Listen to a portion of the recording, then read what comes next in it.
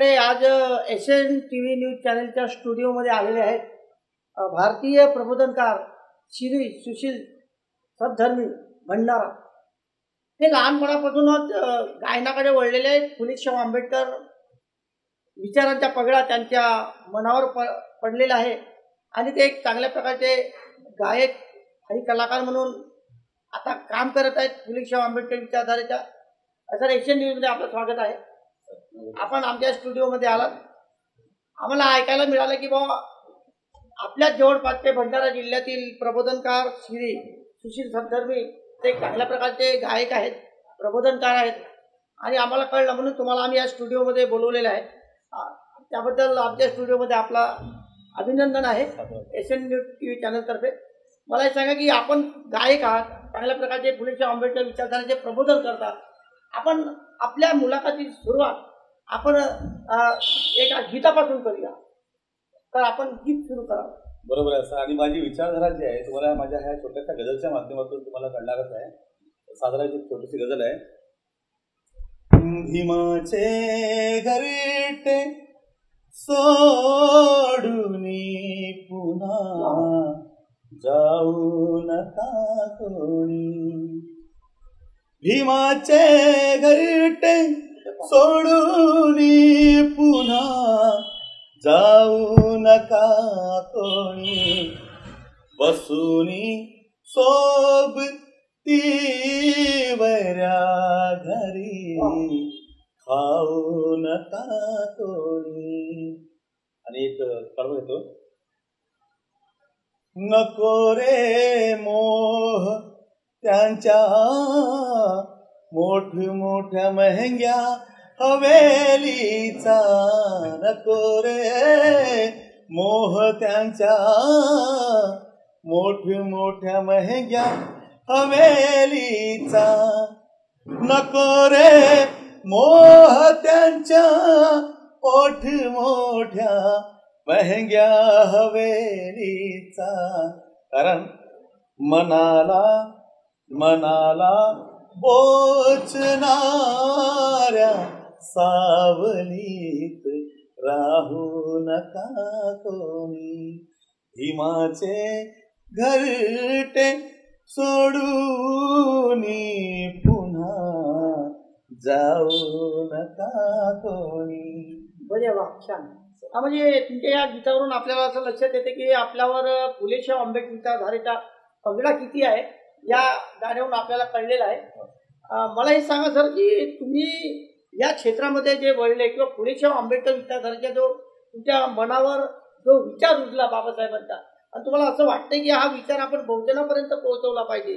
तर ही जी चळवळ आहे बहुजन समाजाची जी चळवळ आहे ही म्हणजे आपण केव्हापासून वळली आणि कशा पद्धतीने तुम्हाला एक- सर लहानपणापासून माझा हा जो आवाज आहे माझा आवाज म्हणजे माझ्या आईची देण्याचा माझ्या आईकडून मला ही अनुवंशिकता मिळाली असं म्हणता येईल. आणि झालं काय की बाबासाहेबांची गाणी वगैरे गायचा छंद हा फक्त फक्त छंद होता. पण आपल्या समाजाची जी सध्याची परिस्थिती आहे त्या समाजाच्या पद्धत म्हणजे समाजाकडे पाहिलं असता मला असं वाटलं की या ठिकाणी आपण थोडंफार लिहू शकतो. कालांतराने मी लिहायला लागलो.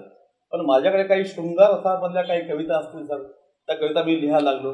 पण नंतर हळूहळू हळूहळू समाजामध्ये जे काही घडत आहे आणि आपल्या समाजावरती आपल्या या बहुजन समाजावरती होणारे अत्याचार अन्याय या अन्यायाला वाचा फोडण्याकरता आपसुकच माझी कलम माझी जी लेखणी आहे ती थोडीशी कन्वर्ट झाली सर आणि ती बहुजन विचारांकडे वळली आणि इथून मला लिखाण आणि गायन हा छंद माझ्या वाढवला सर मला दुसरा प्रश्न आहे की आजचे जे बी गायक असतात हो फुले शाहू आंबेडकर विचारधाराचे जे गायक. मी पण सुद्धा आतापर्यंत बघितलेले आहे हो. सर्व आपल्या अंगावर खांद्यावर दुपट्टा ठेवतात हो. निळा दुपट्टा निळा.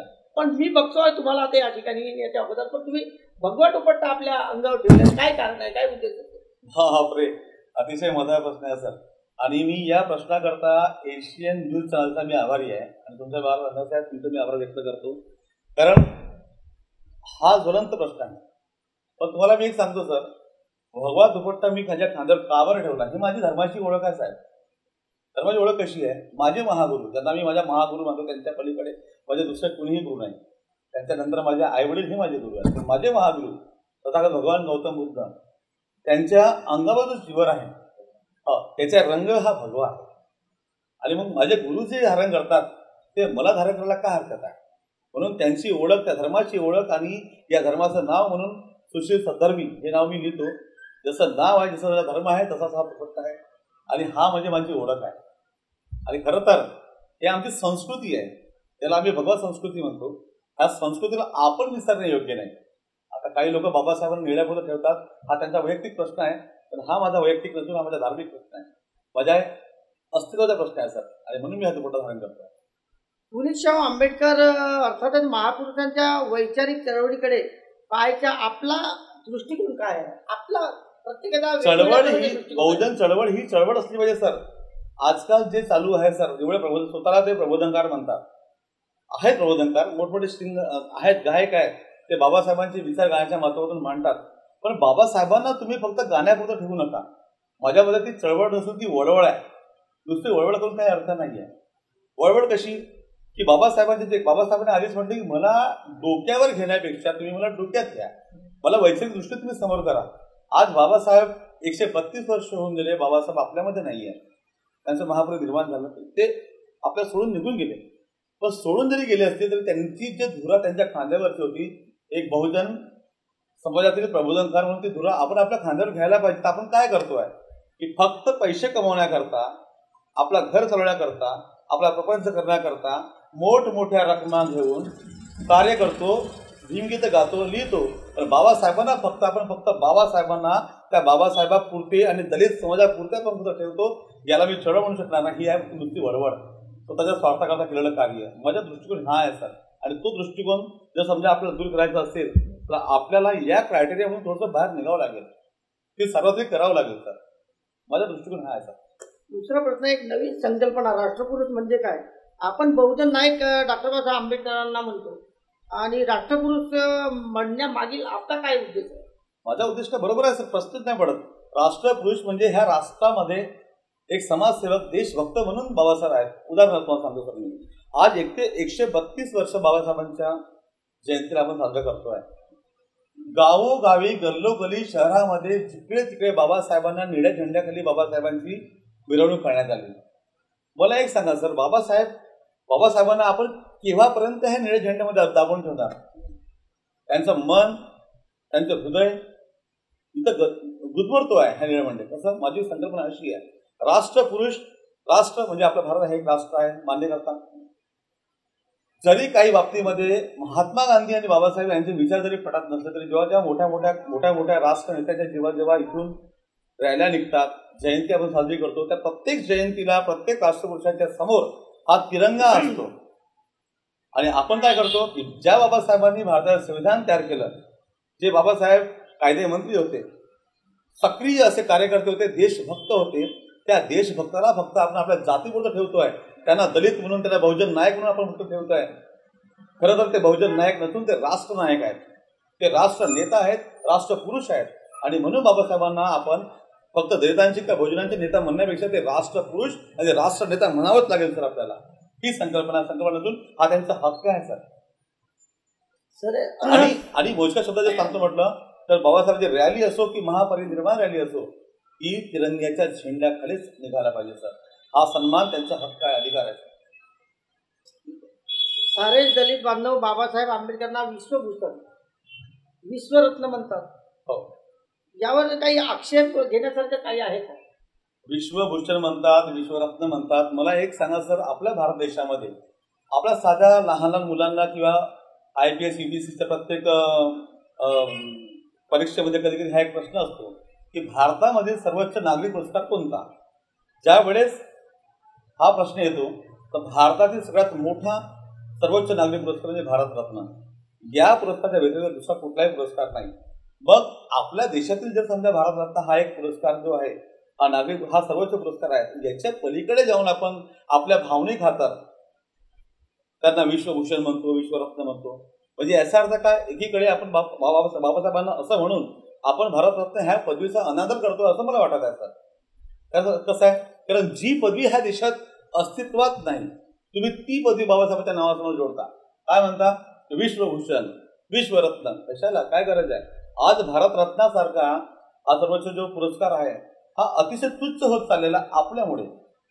आज सगळ्यांनाच भारतरत्न देण्यात देण्यात यावा अशा मागण्या सुरू असतात पण ज्या स्त्रीमुळे महिलांना त्यांचे अधिकार मिळाले शिक्षण मिळाला नवीन नवीन पदं मोठमोठी पदे मिळाली असे सावित्रीबाई त्यांना पुरस्कार नाही.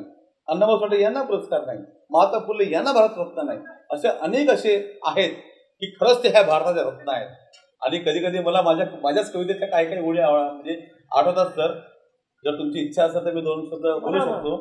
की कर्तव्याची कुवत नसताना कुणी पण स्वतःलाच बहाल करून घेतो. कर्तव्याची कुवत नसताना कुणी पण स्वतःलाच बहाल करून घेतो. आणि एवढं सोपं असेल तर चल ना मी पण तुला एक भारतरत्न देतो. स्त्रियांचे भवितव्य चुलीत झोकून येणार. आहे स्त्रियांचे स्त्रीला सॉरी स्त्रीला चुलीत झोकून तिचे भवितव्य जाणणार आहे. ऐका सर शब्द महत्त्वाचे आहे की स्त्रीला चुलीत झोकून तिचे भवितव्य जाळणारे आणि तुक्याच्या अभंगासहित तुक्याच्या अभंगासहित हत्या करून मारणारे लोकांना मान्य नसणारे कसे काय स्वतःला लोकमान्य करून घेतो? आणि एवढं सोपं असेल तर चला ना मी पण तुम्हाला एक भारत वा तर हे होते आपल्या स्टुडिओमध्ये भारतीय प्रबोधनकार श्री सुशील सद्धर्मी भंडारा. की ज्यांनी आपल्या मुलाखतीमध्ये आणि आपल्या पुलेशा आंबेडकर विचारांचा पगडा त्यांच्यावर कसा आहे आणि त्यांनी कशा पद्धतीचे ते समाजामध्ये जाऊन प्रबोधन करतात संगीतातून प्रबोधन करतात ते सांगितले. परंतु एक खंत त्यांनी व्यक्त केली की भारतरत्न हा भारताचा सर्वोच्च असा मान आहे. तो भारतरत्न आज ह्या सर्वांना दिलं जातं ते विचार केले जात नाही. राजकीय स्तरातून ओळखीच्या लोकांना दिलं जाते पण तो भारतरत्न महात्मा ज्योतिराव फुले सावित्रीबाई फुले असे अंधाभाऊ साठे त्यांनी आपला हाडाच्या म्हणजे माणसाचं म्हणजे हाडाचं पूर्ण आपलं जीवन द्या फुलेशाह आंबेडकर विचारधारेसाठी आणि समाज प्रबोधनाकरता जाहिराच्या माध्यमातून केलेला आहे अशांचा मात्र विचार केला जात नाही. अशी अं, खंत त्यांनी व्यक्त केली आणि म्हणून हा सर्वोच्च नागरिक पुरस्कार आहे या देशातील. तो ते ते महापुरुष आहेत त्यांनी खरं काम केलेलं आहे. अशांचा विचार व्हावा असे त्यांनी या ठिकाणी एवढी एक अपील आहे की बाबासाहेब आंबेडकरांना हे फक्त बहुजन नायक न ठेवता ते राष्ट्र पुरुष आहेत आणि त्यांनाही तिरंगेचा सन्मान द्यायला पाहिजे हे आपण लक्षात घेतलं पाहिजे. ही एवढी अपील माझी करतो.